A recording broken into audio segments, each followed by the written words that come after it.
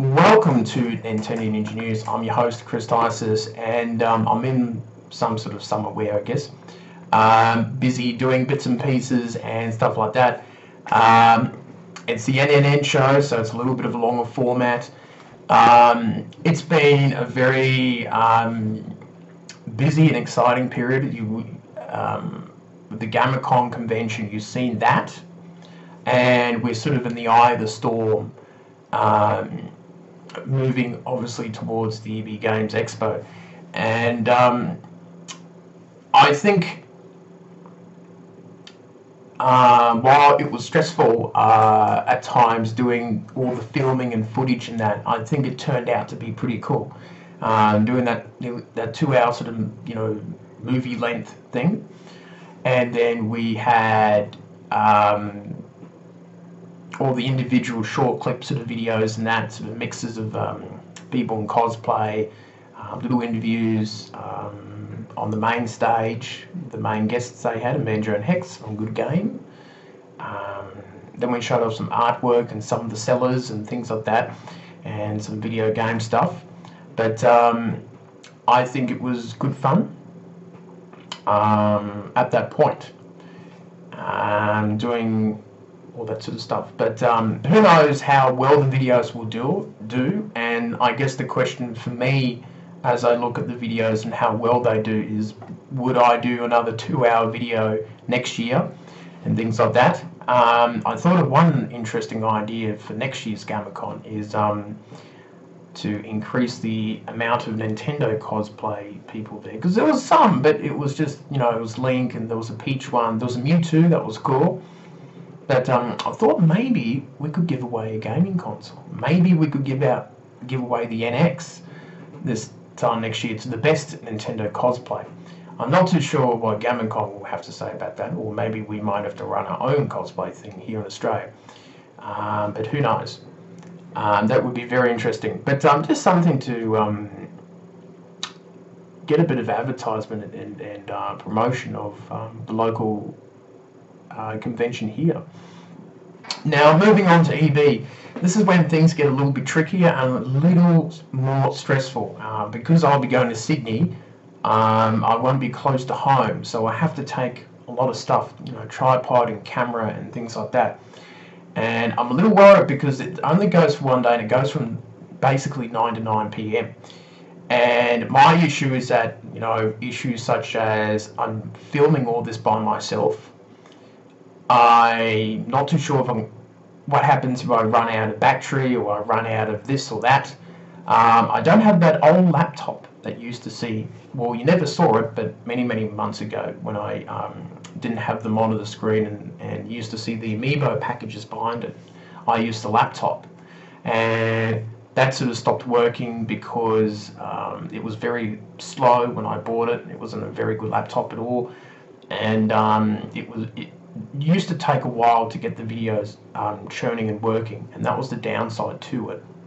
So that's something that we had to, I I had to change and now with the main PC in here instead of the lounge room is a lot better so the challenge is, I don't know if I can really do a two-hour sort of movie of the EB um, Games Expo because it makes it really hard trying to film it by yourself, and that's something that I'm very cautious about, and I'm worried um, about that sort of thing.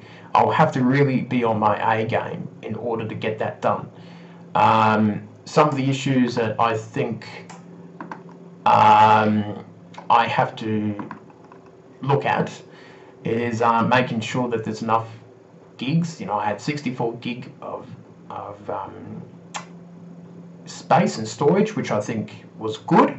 There was definitely enough content there for um, the two hours, which is fantastic. So I probably won't have too much issues. I do have a spare 16 gig card. I might get another one, like another 32 gig. Um, I think I will take my external hard drive. The only problem is it's not portable, which makes it a really fiddly thing to deal with. So I'm not too sure about that one.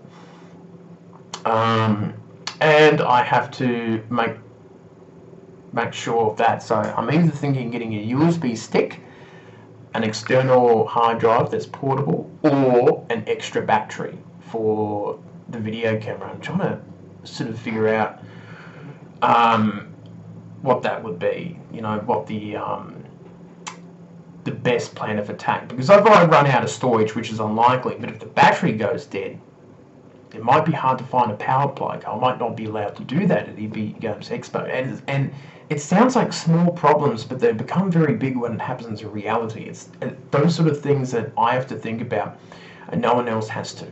So we don't know what content that Nintendo will have there. You know, do we include non-Nintendo video games? I don't know. Or we wouldn't get a copyright strike. You know, we we did. But um, yeah, it's going to be really interesting to see what will happen with that. Obviously, the stresses of doing buses and accommodation and that sort of thing. I see definitely a shorter film for EB in terms of um, in terms of um,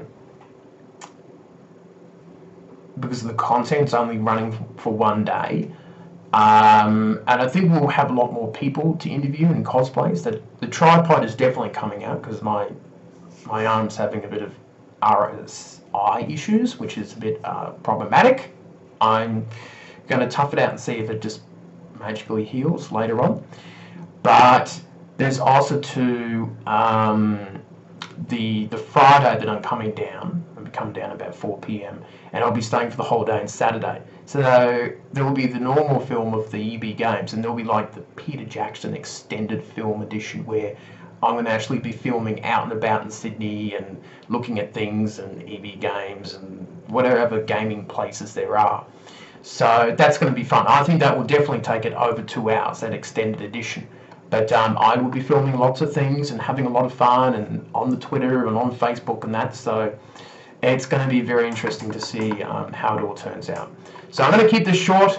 Um, I'm a bit stressed out. Um, there's probably one or two videos left of GAMMA.CON to, to upload tonight or tomorrow. But after that, we'll be returning back to the news and that sort of thing. Haven't heard much news, just your usual NX rumors and um, uh, there is some Pokemon stuff coming tonight, apparently. Uh, if I'm correct, correct or not. Maybe a trailer or, or a press statement or something like that. So, as you can tell, I'm a bit tired still.